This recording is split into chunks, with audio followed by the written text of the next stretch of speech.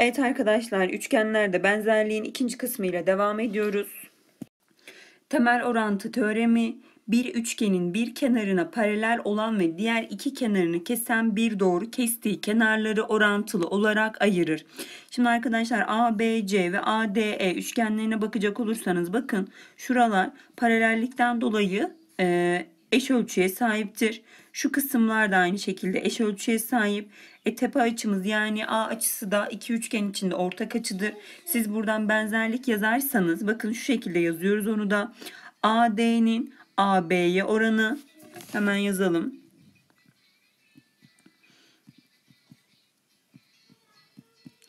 Eşittir AE'nin AC'ye oranına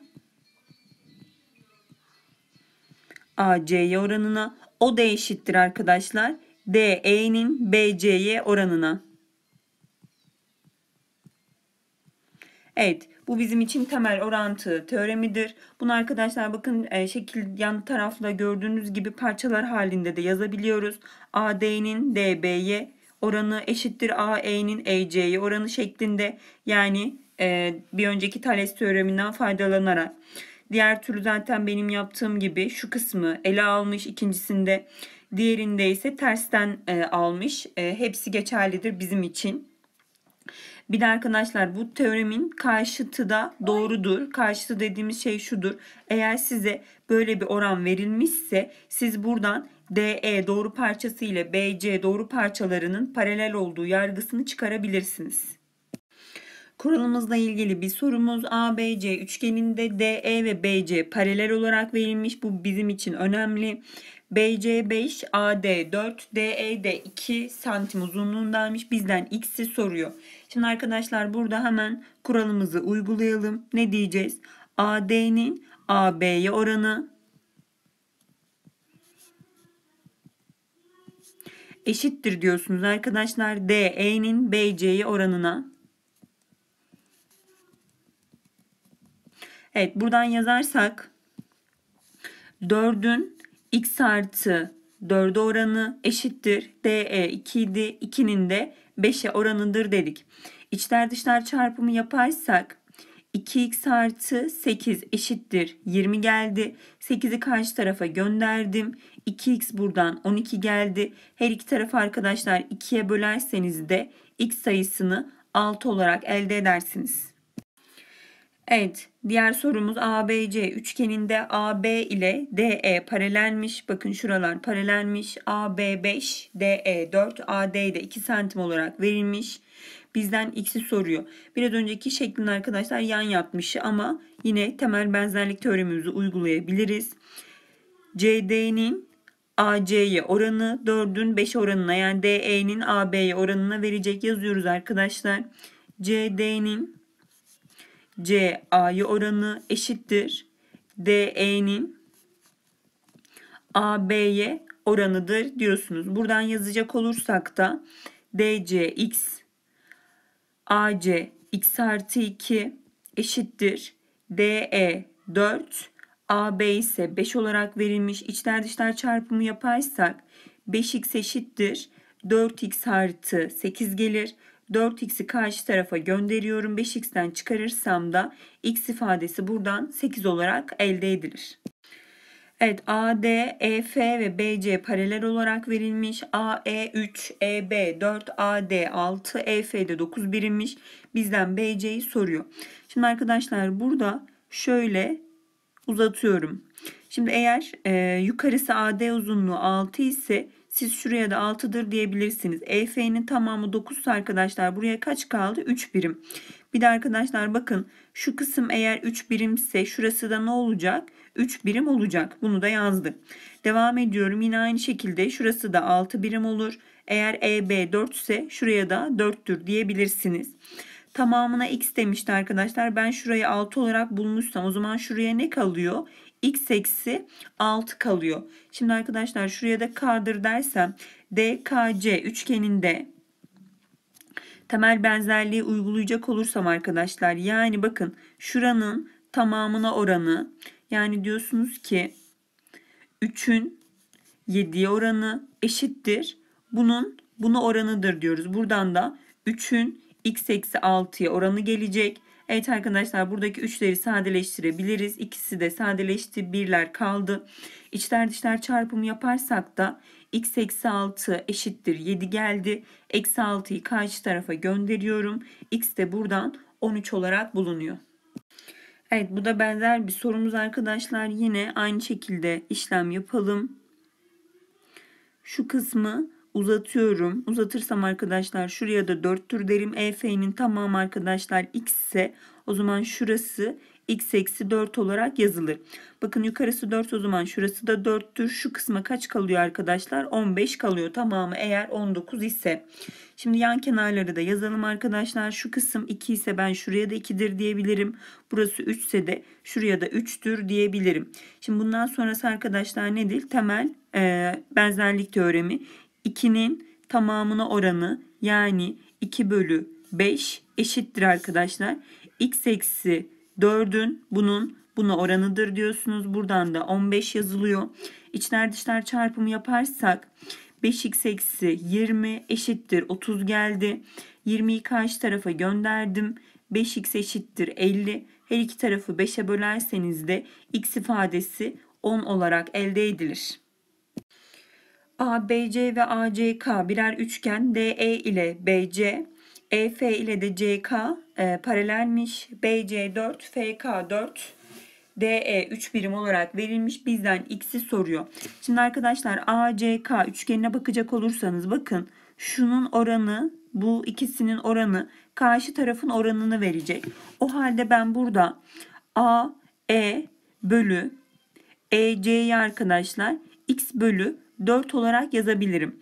Buradan arkadaşlar siz AE'ye xk, EC'ye de 4K'dır diyebilirsiniz. Bakın şuraya xk, buraya da 4K'dır yazabilirim. Sonra arkadaşlar ABC üçgeninde yine temel orantıyı kullanacak olursam bakın şunun tamamına oranı bunun buna oranına eşit olacak. O halde buradan da diyorsunuz ki xk'nın xk artı 4k'ya oranı dersek ve buradan da k parantezini alırsak x artı 4k etti eşittir. 3'ün 4'e oranıdır diyorsunuz. Buradaki arkadaşlar k'lar birbirini götürdü. Sonra da içler dışlar çarpımı yaparsak 4x eşittir. 3x artı 12 gelmiş oldu. 3x'i karşı tarafa gönderiyorum. x de buradan 12 olarak elde ediliyor.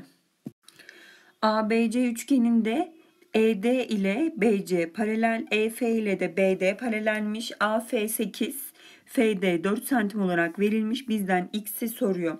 Şimdi arkadaşlar önce neye bakalım? ABD üçgenine bakıyorsunuz.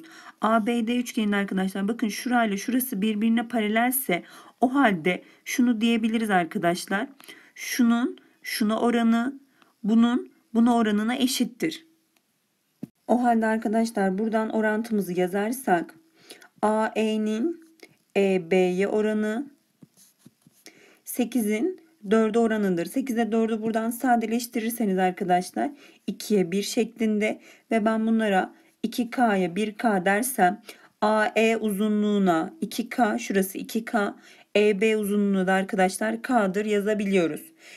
Şimdi de arkadaşlar ABC üçgenine bakacak olursak da bakın şurası ile şurası paralelmiş. O halde şunu diyebilirsiniz. Bunun buna oranı yani 12 bölü x eşittir. Bunun buna oranıdır. Yani 2k bölü k'dır dedik. K'ları bundan gönderiyorsunuz arkadaşlar. İçler dışlar çarpımı yaparsam da 2x eşittir 12 gelir. Her iki tarafı 2'ye bölersem de x ifadesini 6 olarak elde ederim. ABC üçgeninde BE açıortay DE ile BC paralel olarak verilmiş. AD 8, DB de 400 santimmiş. Bizden x'i soruyor. Şimdi arkadaşlar eğer DE ve BC paralellerse bakın ben şuraya A buraya A dersem şuradaki bakın Z kuralından kaynaklı olarak şurası da ne gelecek? A gelecek. Yani BDE üçgeni neye dönüştü arkadaşlar? İkiz kenara dönüştü. BD uzunluğu 4 birimse o zaman şurayı da arkadaşlar 4 olarak yazabilirsiniz. Bunu yaptıktan sonra artık işimiz kolay. Temel benzerlik teoremi bunun tamamına oranı yani 8'in 12'ye oranı eşittir. Bunun buna oranıdır dedik. Buradan da 4 bölü x olarak yazdık. İçler dışlar çarpımı yaparsam 8x eşittir arkadaşlar 48 gelir. Her iki tarafı 8'e bölersem de x'i 6 olarak elde ederim. ABC üçgeninde BF ve FC açıortay DE ile de BC paralelmiş. AD 6, DB 2, EC 1 santimmiş. Bizden BC'yi istiyor. Şimdi arkadaşlar yine aynı şekilde bakın e, ters açılardan dolayı şurası ile şurası aynı açıya sahip olacak. Bunu yazdım. Burada ikiz kenarlık oluşmuş o zaman şuraya da 2 birimdir diyebilirsiniz. Aynı şekilde arkadaşlar bakın şurada da yine z kuralından dolayı şuradaki açımız ile şuradaki açı da eşit olacak. O halde yine ikiz kenarlık oluştu. Şu uzunluğumuz 1 ise biz buraya da 1 olarak yazabileceğiz. Buradan sonrası artık temel orantı teoremi arkadaşlar. Bunun tamamına oranı 6'nın 8'e oranı eşittir. DE'nin BC'ye oranıdır arkadaşlar. Yani bunun buna oranıdır diyoruz. Buradan da 3 bölü x olarak yazdım. İçler dışlar çarpımı yaparsak 6x eşittir 24 geldi. Her iki tarafı 6'ya bölerseniz de x'i 4 olarak elde edersiniz.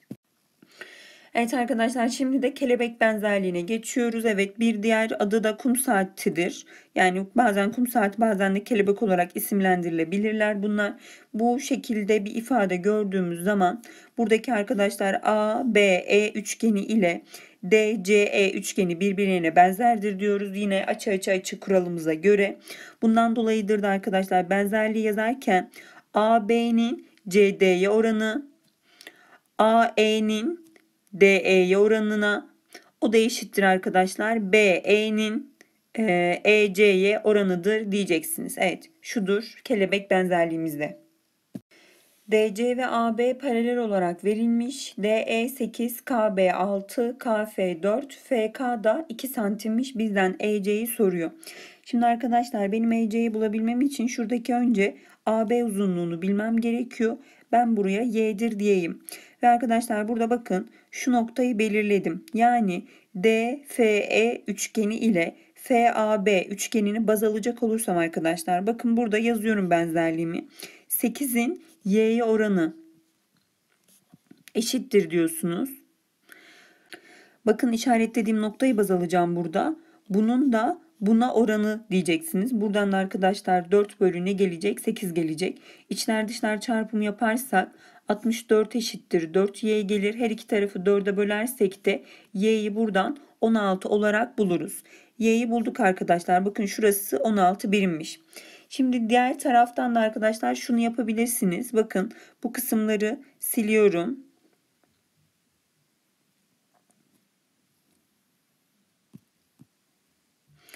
Evet.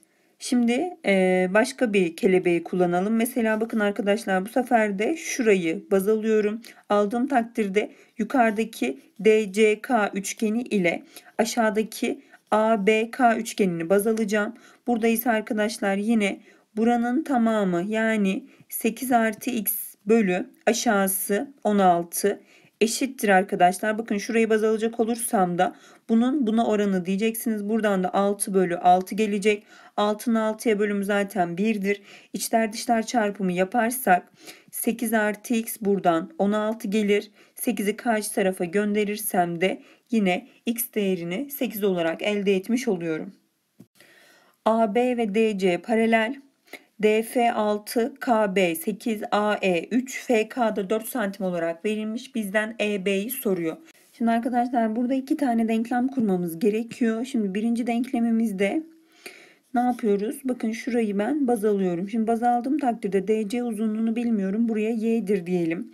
Şimdi DCK üçgeni ile KEB üçgeni arasındaki benzerliği kuracak olursam bunun bunu oranı bakın birinci ifademiz y bölü x eşittir. Burada arkadaşlar bakın noktamıza göre baz alacağım. Bunun buna oranı diyeceksiniz. Buradan da 6 artı 4'ten 10 bölü 8 gelecek. Burada y'yi yalnız bırakırsam arkadaşlar x'i karşı tarafa gönderirsem y ifadesi 10x bölü 8 olarak elde edilecek. Bu burada beklesin. Şimdi arkadaşlar ikinci ifademizde de bu kısmı bir siliyorum öncelikle. Evet, şurasını yine y olarak almıştık yazalım. Şimdi ikinci ifadede arkadaşlar bakın şurayı, şu kesim yani buradaki kelebeği baz alacağım. Burada ise yukarıda yine DC e, buranın adı neydi? Biraz silelim fazla karalamışız. Evet F'ymiş arkadaşlar. Şimdi burada ise DCF üçgeni ile de FAB üçgenlerini baz alacaksınız. Yine bunun buna oranı y bölü x artı 3 eşittir arkadaşlar. Bunun buna oranı diyeceksiniz. Buradan da 6 bölü 12 gelecek. Yine aynı şekilde buradan y'yi yalnız bırakacak olursanız da arkadaşlar y ifadesi x'i e, x artı 3 karşı tarafa gönderirsem de buradan da 6x eksi 18 bölü 12 gelmiş olacak. Bakın y'nin diğer eşiti de buymuş. Şimdi arkadaşlar birinci ve ikinci ifadede bulduğumuz y'leri birbirine eşitliyorsunuz. Eşitlersek de e, 10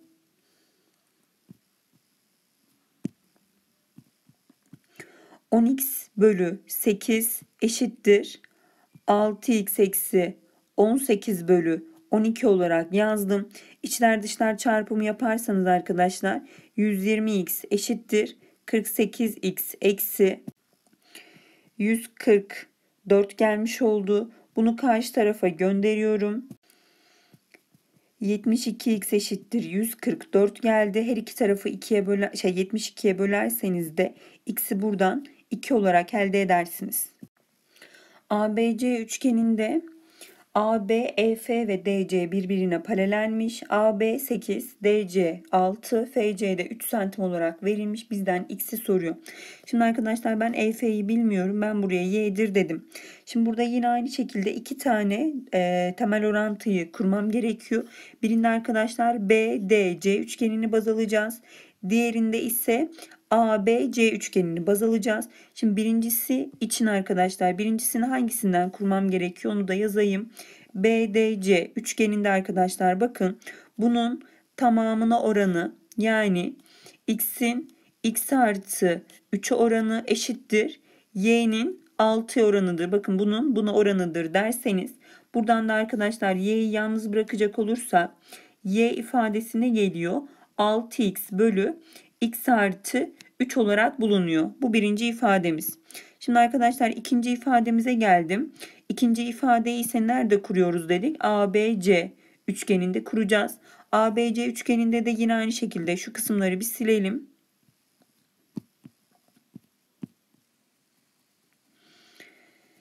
Evet.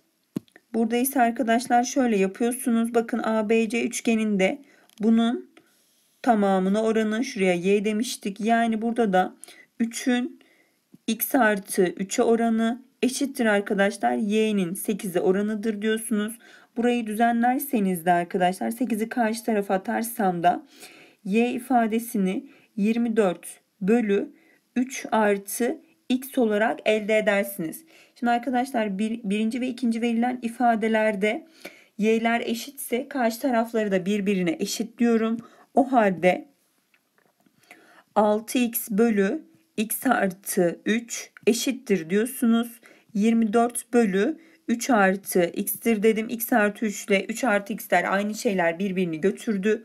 O halde arkadaşlar 6x eşittir 24 kaldı. Her iki tarafı 6'ya bölerseniz de x'i 4 santim olarak bulursunuz.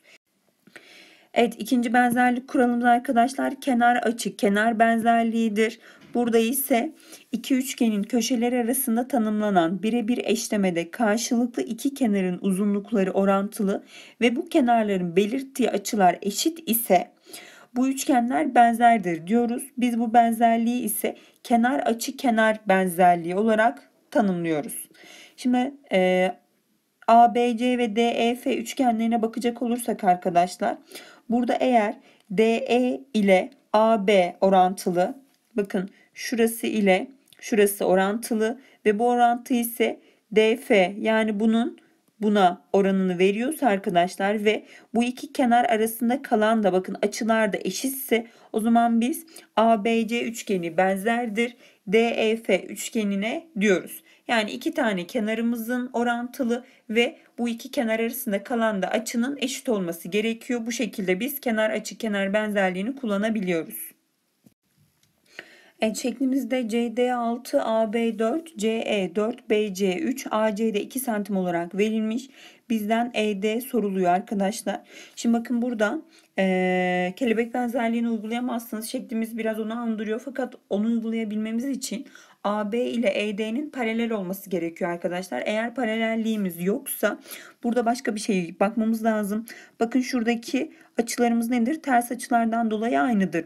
Şimdi bu açıları e, birleştiren kenarlara bakacak olursanız arkadaşlar burada 2 var, burada 4 var. 2 katı. Burada 3 var, burada da ne var? 6 var. Dolayısıyla arkadaşlar bakın AC ile EC'nin oranı AC bölü EC BC ile CD'nin e, oranına eşittir. Ve e, aradaki açılar da eşitse arkadaşlar biz kenar açı kenar özelliğimize göre buradan ABC üçgeni benzerdir. ECD üçgenidir diyebiliyoruz. Burada arkadaşlar kuralımızı yazacak olursak da 2'nin 4'e oranı eşittir. 3'ün 6'ya oranıdır. O da eşittir arkadaşlar. 4'ün x'e oranıdır diyeceksiniz. Yani şunun şuna oranı, bunun buna oranına, o da bunun buna oranını verecek. Buradan arkadaşlar bakın bir tanesini alabilirsiniz. Şurada içler dışlar çarpımı yapalım. 3x eşittir buradan 24 gelecek. Her iki tarafı 3'e bölersem de x ifadesi buradan 8 olarak elde edilecek. ABCD dörtgeninde ABC açısı ACD açısına eşitmiş. CD 12, AB 8, AC 6, BC'de 4 santim olarak verilmiş. Bizden x'i soruyor. Şimdi arkadaşlar ABC ve ACD üçgenlerine bakacak olursanız bakın kenarlarına bakalım. Bakın buradaki 4 ile 12 2 katı, 4 de 8 yine 2 katı. Birer açılarımızda ortaksa arkadaşlar burada yine kenar açı kenar özelliğini kullanabiliriz. Kullanırsak da ABC üçgeni benzerdir. D A C üçgenidir diyorsun. Bakın arkadaşlar A B C'de uzun olan kenardan başlamıştım. O yüzden de e, C D A'da da yine uzun olan kenarla başladık. C D C A şeklinde yazdık. Burada arkadaşlar benzerliği kuracak olursak da 4'ün 6'ya oranı 8'in 12'ye oranını verecek. O da arkadaşlar 6'nın x'e oranını verecek.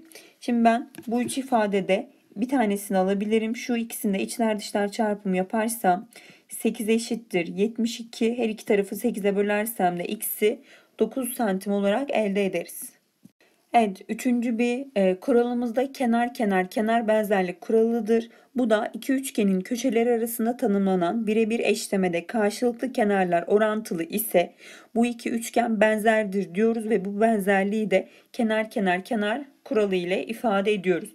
Şimdi ABC üçgeni ve arkadaşlar e, DEF üçgenlerinde eğer DE bölü AB eşit EF bölü BC eşit DF bölü AC eşit ise yani kenarları bu şekilde arkadaşlar orantılı ise biz ABC ve DEF üçgenleri için kenar kenar kenar kuralına göre benzerdir diyebiliyoruz. Şimdi arkadaşlar burada iki tane üçgen verilmiş ABC ve DEF üçgenlerine bakacak olursanız bakın AB uzunluğumuz 5 DE uzunluğumuz 15 3 katı AC uzunluğumuz 7 DF uzunluğumuz 21 3 katı. BC uzunluğumuz 8, EF uzunluğumuz 24 yani 3 katı. Şimdi burada arkadaşlar o halde şunu diyebilirsiniz. AB bölü DE oranı eşittir. AC bölü DF oranına o da eşittir arkadaşlar. BC bölü EF oranına. Şimdi eğer ben bu e, orantıyı kurabiliyorsam arkadaşlar ABC üçgeni benzerdir. DEF'dir diyebilirsiniz arkadaşlar. Şimdi ben bana neyi vermiş? ABC yani B açısını vermiş arkadaşlar. Bizden neyi istiyor peki? Alfa, DEF, DEF bakın şurayı istiyor. E açısını istiyor. Şimdi arkadaşlar bu benzerlikten kaynaklı olarak B açısının da E açısına eşit olması gerekiyor. B açımız eğer 60 ise o zaman E açımızın da yani alfanın da 60 olması gerekiyor.